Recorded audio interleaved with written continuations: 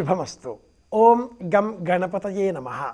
చవితి తిథి గణపతికి సంబంధించిన తిథి. కృష్ణపక్షంలో వచ్చే చవితి తిథి నాడు సంకటహర గణపతి వ్రతం పాటిస్తాం. అలాగే శుక్లపక్షంలో వచ్చేటటువంటి గణపతి తిథి చవితి తిథి నాడు ఒక్కొక్క మాసంలో ఒక్కొక్క పేరిట మనం అర్చనలు చేస్తూ ఉంటాం.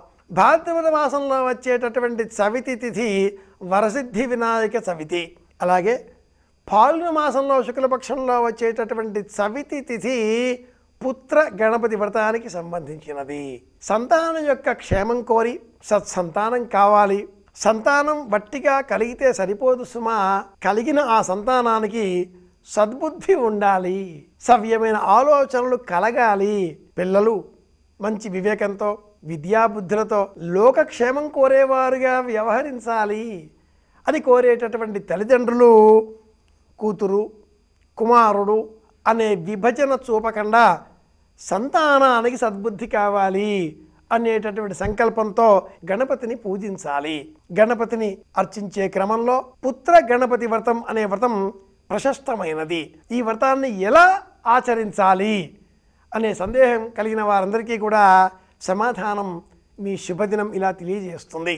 వ్రతం అంటే నియమంతో కూడుకున్నది అని అర్థం. ఈ గణపతికి సంబంధించిన వ్రతాలన్నీ కూడా మనం పురాణ విజ్ఞానంలో విశేషంగా గమనించవచ్చు.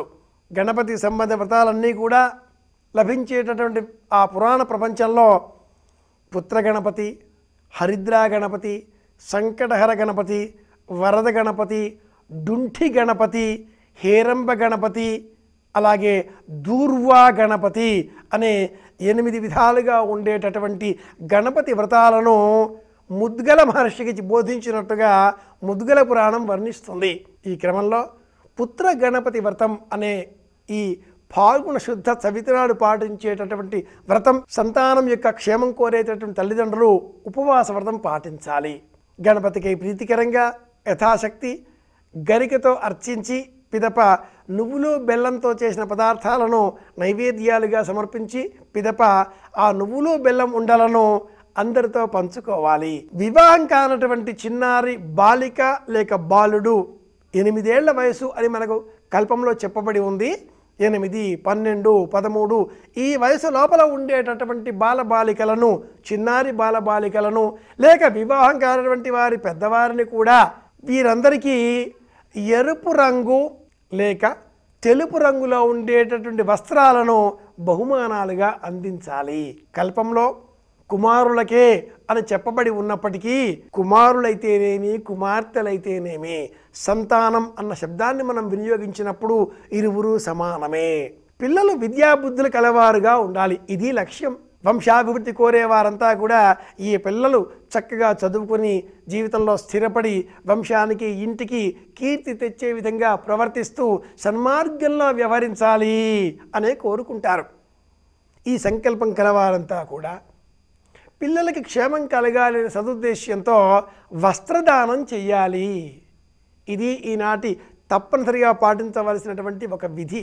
అలాగే గణపతి యొక్క అనుగ్రహం పొందగోరిన వారంతా గణపతి అథర్వ శీర్ష ఉపనిషత్తు అనే ఉపనిషత్తును పద్నాలుగు సార్లు వినాలి లేదా ఆ యోగ్యత కల వేద పండితులను ఇంటికి పిలిపించి అలాంటి మహానుభావుల చేత గణపతి అథర్వ శీర్షాన్ని సామూహికంగా ఇంటిలో పారాయణ గావించి ఆ వేద ఘోష ఇల్లంతా కూడా వ్యాపించినటువంటి పవిత్ర వాతావరణంలో యథాశక్తి గణపతిని షోడశ ఉపచారముల చేత అర్చించి బ్రాహ్మణోత్తములకు వస్త్రదానం ఆచరించినట్లయితే పుత్ర గణపతం సంపూర్ణంగా పరిపూర్ణంగా పాటించిన వారు అవుతారు ఇలా కుదరకపోయినా తెలుసుకున్నారు విన్నారు కనుక యథాశక్తి గణపతిని సేవించే విధంగా మన ఉపచారాలు మనం పాటించినట్లయితే కూడా గణపతి అనుగ్రహం తప్పక లభిస్తుంది అని తెలియజేస్తుంది మీ శుభదినం.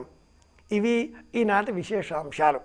అందరి క్షేమాన్ని కోరదాం. గణపతి అనుగ్రహంతో సత్సంతానం కలిగి వంశాభివృద్ధి కలిగి తామర తంపరగా వంశ పరంపరలు అలా పెరుగుతూ కీర్తి ప్రతిష్టలతో ప్రతి ఇల్లు కూడా ధనధాన్య సౌభాగ్యములతో దిలసిల్లాలి అని కోరుకుంటూ మళ్ళీ రేపు కలుసుకుందాం అని విన్నవిస్తూ శుభమస్తు.